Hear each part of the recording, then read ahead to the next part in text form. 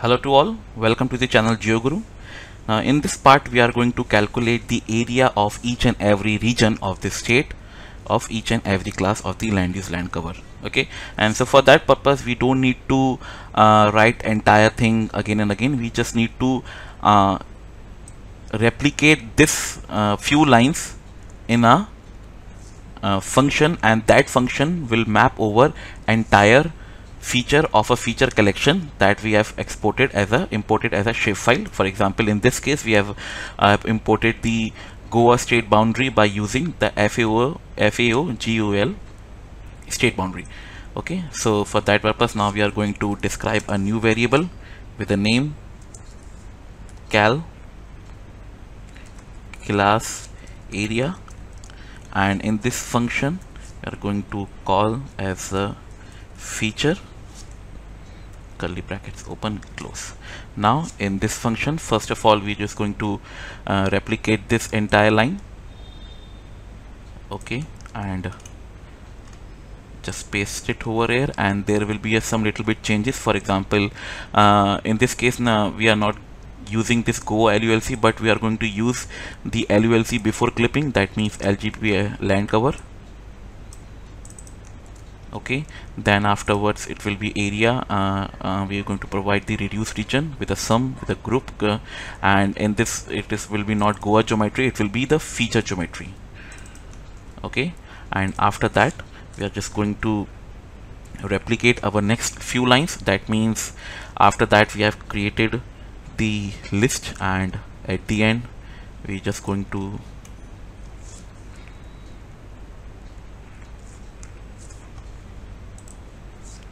means before uh,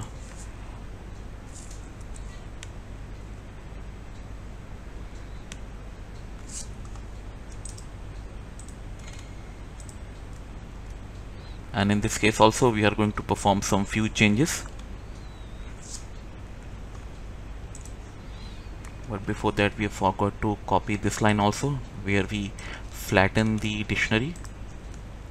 Okay now after this we are going to define a new variable with the name district so that we can store the district name uh, in our output. That means the feature dot get. And here we are going to use the uh, name in your shapefile of the feature collection through which the name of this particular district will be displayed. So in our case it will be adm2 underscore name. Suppose you are using shapefile uh, which you are exported in the feature collection in the earth engine. So you can look out uh, like from uh, by which name your district boundary will be called as. And after that finally we are going to return the in the form of feature. And we are going to return the feature dot geometry first so that it will be stored in a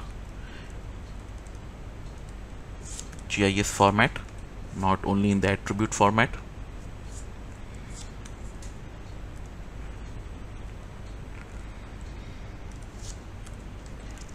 After that we are going to return one more thing that is result dot set. And that why we are using set? So that in our output result we are going to describe this district as a string name district. Okay.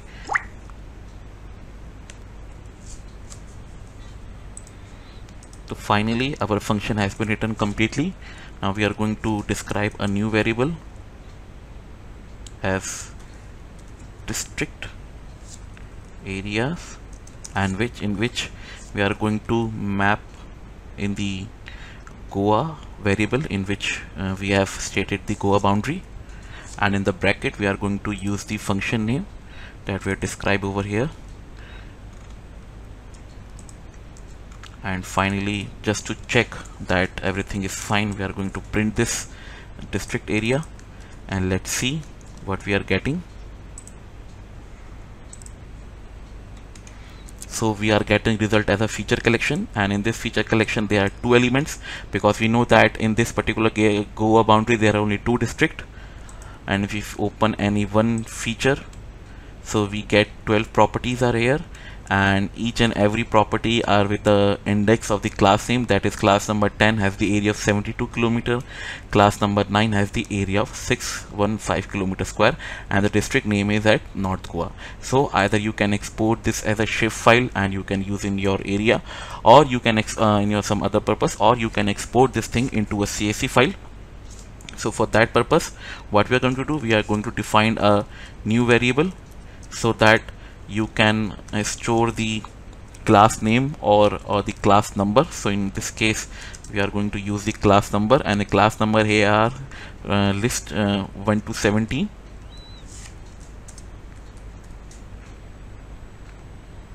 and in this case we are going to add uh, output fields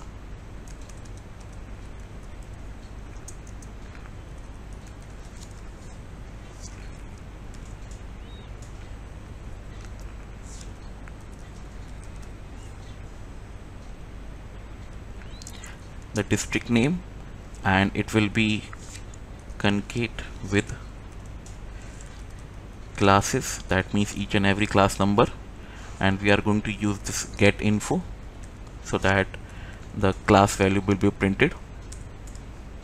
And we are going to export this as a CSV so for that purpose we are going to use as export table to drive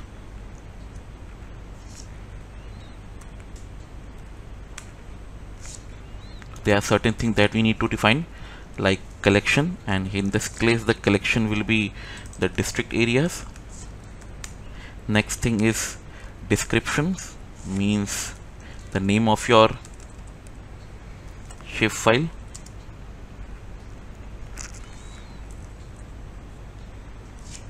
Area by class next thing will be the folder of your Google Drive. So uh, in this case I'm going to define as earth engine 2 so if your Google Drive has this uh, folder with the name earth engine 2 then it will be stored in this drive. Otherwise it will make a new folder in your Google Drive and stored in that format. After that the main important thing is file format. So in this case we are going to export this as a CSV and in the last thing we are going to define the selectors. And the selector will be this output field. And if everything will be okay just hit run button. And if there is an export function then the taskbar will be highlighted just goa to that and there is an unsubmitted task. That means area by class just hit run and check everything that the name should have no spaces area by class uh, uh, the file name will be area by class csv format the folder will be earth engine 2 and click run. So it will depend on the uh, size of the file. So it hardly take one to two minutes because go is a very small area. And let's just see in our google drive so the task has been completed within less than one minute and let's just check the google drive folder. So our file has been exported in the format csv let's just open it. Let's just open it. So now this is our csv file. In the column and the row name we have the two district that is north goa and south goa. And these are uh, approximately 17 classes not the approximately but exactly 17 classes. And here each and every value is the area of that particular class in that particular district. As you can see some columns are cells are blank because in the north goa part there is no class with the name 1 in the south goa class area there is no class as the name 1 uh, similarly the case of class number 3 class number 6 class number 7 and all so you can recheck the area of urban class that we have calculated externally in the previous part, so the uh, urban area was the class number 13 so class number 13 has two area and the north it is 4 square kilometer and it is 18 square kilometer. That means total of 22 square kilometer.